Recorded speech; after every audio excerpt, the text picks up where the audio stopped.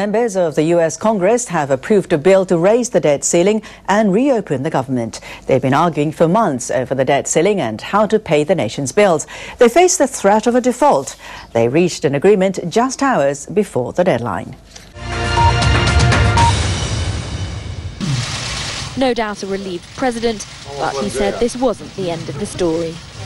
There's a lot of work ahead of us, including our need to earn back the trust of the American people that's been lost over the last few weeks.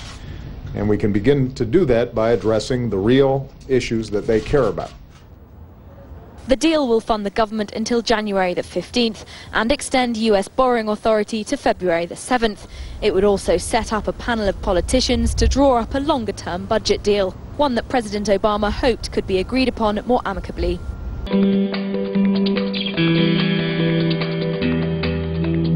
Senate Democrat leader Harry Reid decided to celebrate the agreement rather than the differences. The the compromise we reached will provide our economy with the stability it desperately needs. It's never easy for two sides to reach consensus. It's really hard, sometimes harder than others. This time was really hard. But after weeks spent facing off across a partisan divide that often seemed too wide to cross, our country came to the brink of disaster. But in the end, political adversaries set aside their differences and disagreements to prevent that disaster. But the thorny issue of Obamacare still rankles with the Republicans, and they vowed to try to repeal the law. It marks a defeat for Republicans who had demanded that Obama's signature health care reforms be delayed by a year in return for the passage of a budget bill. Obama refused to negotiate. This is a terrible deal. This deal embodies everything about the Washington establishment that frustrates the American people. This deal kicks the can down the road. It allows yet more debt more deficits, more spending. The deal will put an end to Washington's most serious budget crisis in 17 years. But with more negotiations due in February, the budget battles are far from over.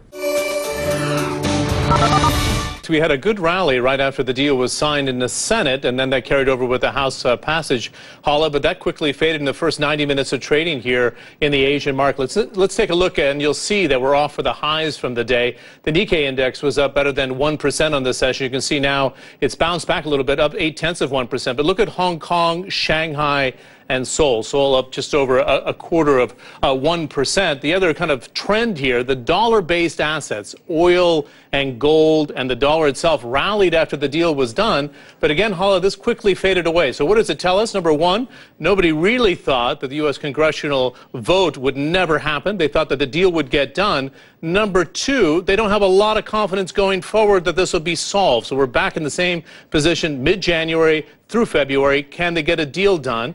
And, and, number three, we're in a region right now with great assets into U.S. Treasury bonds. Uh, the Chinese hold about one and a quarter trillion dollars, the Japanese 1.1 trillion dollars. And the question marks being raised, do the U.S. lawmakers really care whether we hold these assets or not? Uh -huh. The U.S. is the reserve currency. Uh, but uh, will it be able to hold on to that? I'm not talking about four or five years, but is this a longer term trend where the U.S. doesn't really care whether it gets that investment or not? We already see the Chinese buying more European bonds to balance out their portfolio.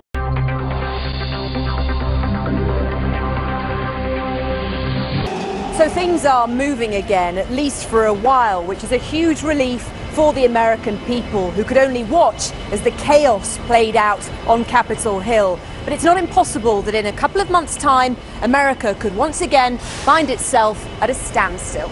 I hope that we won't be doing this again in January, but um, I wouldn't be shocked. I'm not happy because it's going to come up again.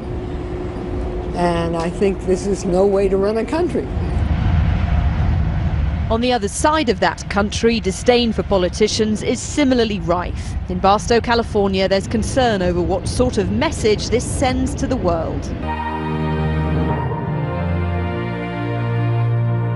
Polls show the majority of Americans want every member of Congress fired. But even if their collective memories hold, along with their anger, that is a message they won't be able to send until the 2014 elections.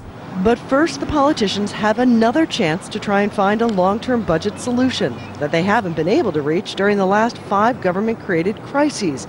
If not, in three months, it's possible the American people will be back here again, from the outside looking in on Capitol Hill, not liking what they see, but not able to do much about it.